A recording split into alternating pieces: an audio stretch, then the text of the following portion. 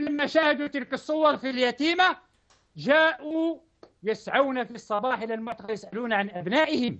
كيف تركناهم الأسبوع الماضي؟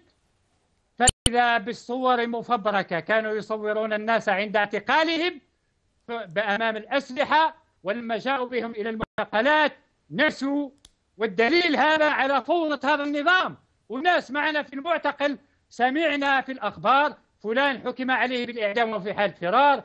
مجموعة هاجمت بنك طائف العافية يذكرون أسماءهم في المعتقل يعني فوضى عارمة فوضى لا وصف لها. طيب أخ جمال.